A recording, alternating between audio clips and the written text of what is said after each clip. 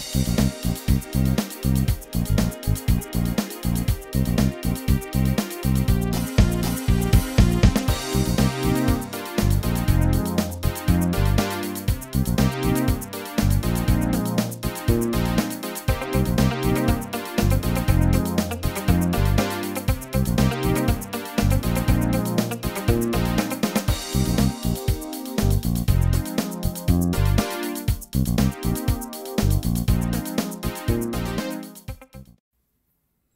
Hi, this is Val and today I would like to propose a cheap and easy solution to the problem of a speedometer that displays a speed greater than the actual speed.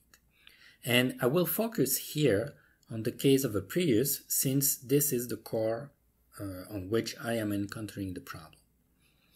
But maybe this will work on other cars too.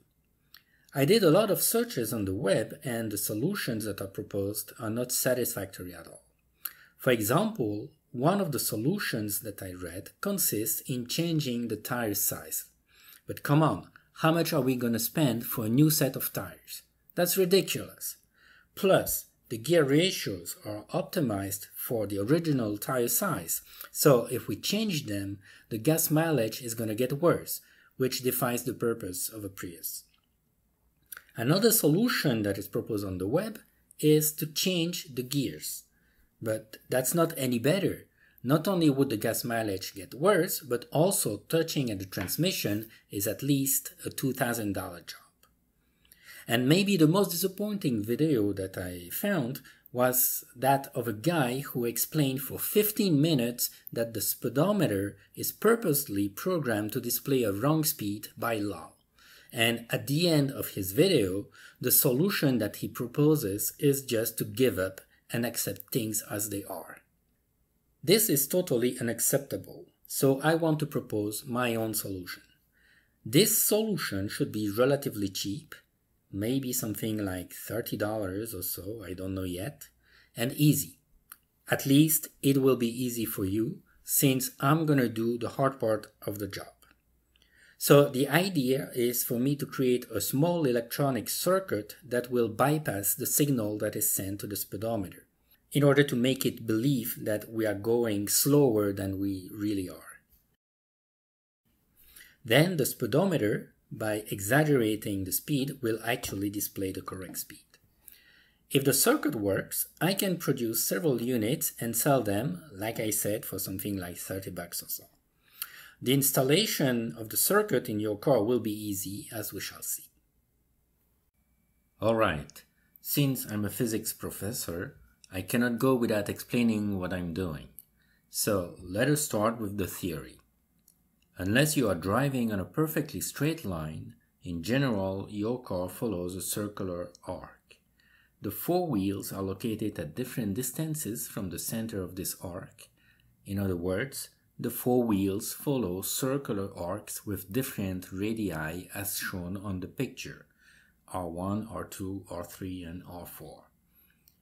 Now, you should know from high school that the arc length is proportional to the radius. This means that in a given amount of time, the four wheels cover different lengths and therefore they all have different speeds. Now, each wheel has a speed sensor that sends electrical pulses to the ABS module. The frequency of these pulses is proportional to the wheel's speed.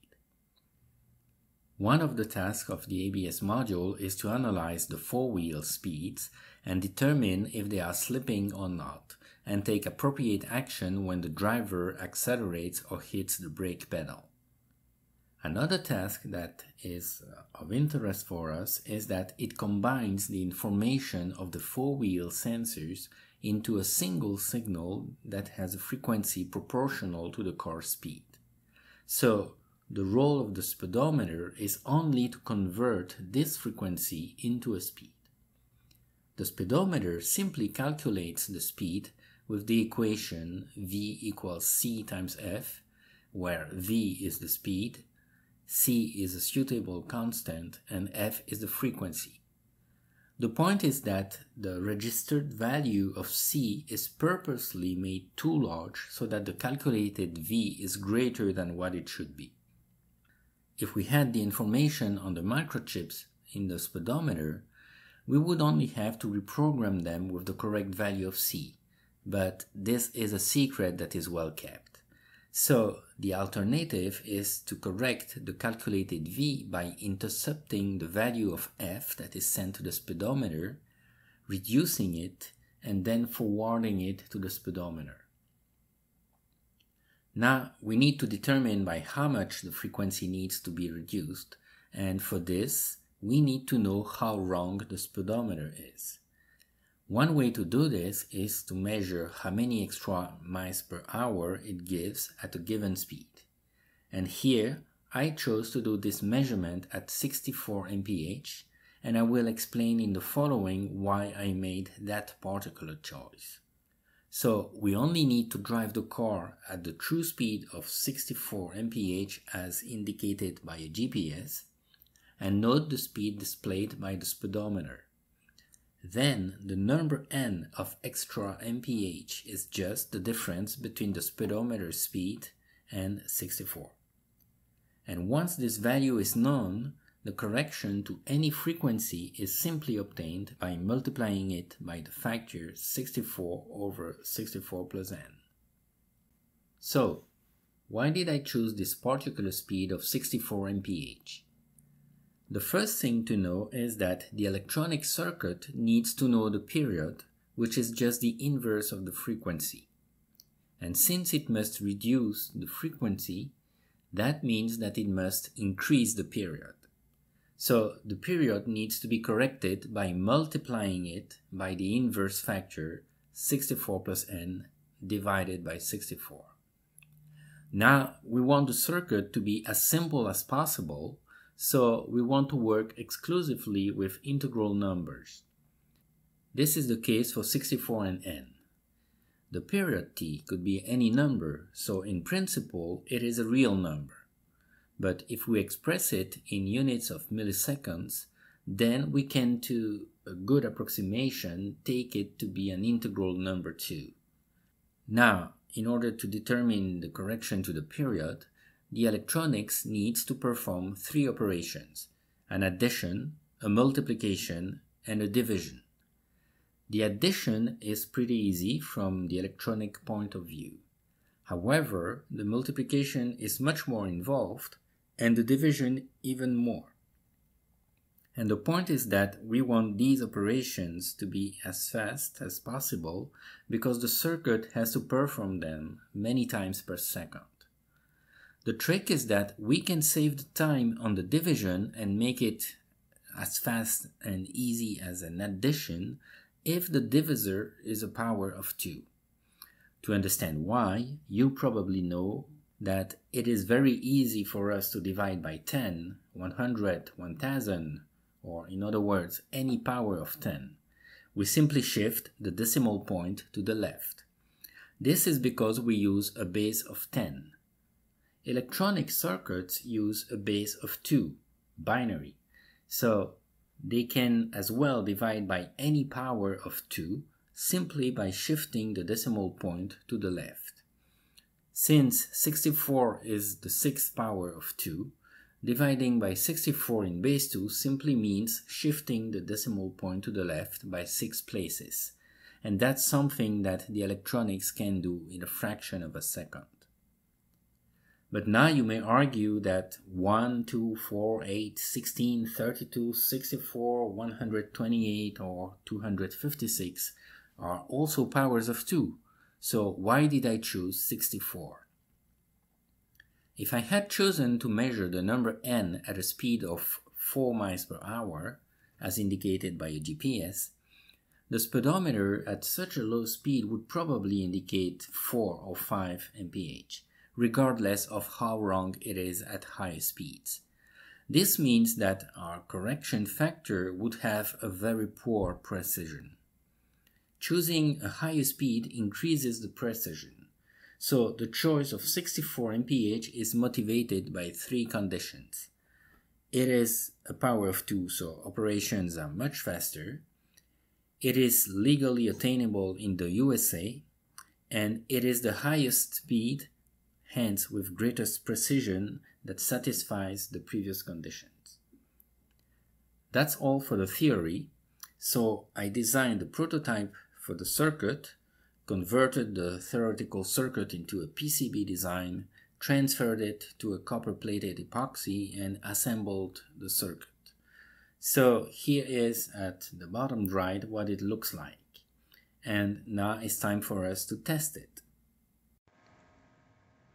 Alright, so here is the circuit. I connected it to my um, generator. I'm going to inject a frequency of 250 Hertz and I'm going to look at the output with the oscilloscope. So here, uh, let me turn on the A trace.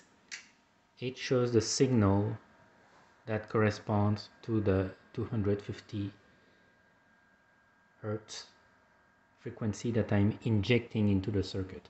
But now the circuit is not powered up yet, so let me turn it on and you will see that the LED will blink for two seconds. That's what confirms that the circuit is turned on. All right. So right now, the the the microchip uh, is reset, so that means that it doesn't perform any correction of the speed. So now if I turn on the output, the trace that corresponds to the output of the circuit, it shows the same frequency as the input frequency. It doesn't make any correction. All right. So you see that both traces have a period of, if we start from here, we have one, two, three, four, four squares for a period, okay? And um, one square corresponds to one millisecond, so the period is four milliseconds. The inverse of it gives you a frequency of 250 hertz, okay? Same input, same output. Now, let's say that I want to make a correction. Let's say that maybe the speed that is displayed by uh, the speedometer at 64 miles per hour, maybe my, my speedometer displays 74 miles per hour. So what I'm going to do is that I'm going to program it so that it makes the corrections. So for this, I am going to put the, the switch here. We can't really see it on the video. I'm going to put the switch in uh, programming mode and I'm gonna press the push button until and keep it hold um, uh, I'm going to to press and hold the button until the LED blinks 10 times. So that mean that means a correction of 10 miles per hour. So let me do it. One two three four five six seven eight nine ten. All right now I turn off the programming mode and in order to check that it has been correctly programmed I press it once and the LED will blink. It should blink 10 times. So let's see. One two three four five six seven eight nine ten. Perfect. Now let us look at the output so here you see that now the, the oscilloscope, it is programmed to trigger on the channel 1. Can we see here? Uh, it's hard to see.